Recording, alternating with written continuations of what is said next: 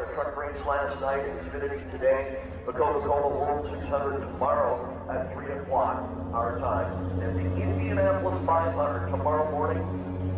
Green flag scheduled for 9 a.m.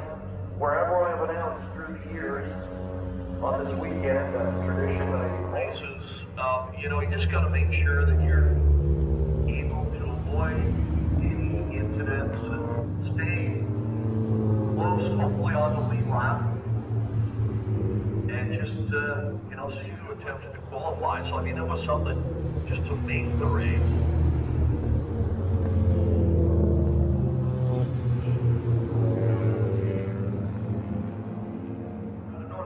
Dennis. The 24, of course, is Jackie Robson. Formerly Jackie Jackie Edwards out of Grove. Welcome back, Karen Wilkie in the 29 car. Off for a couple of years.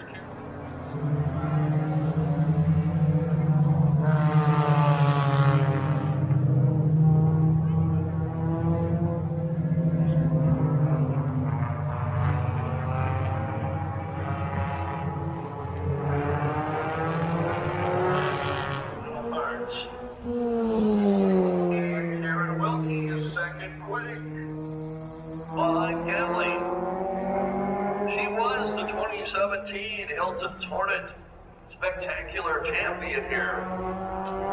The second lap for Karen is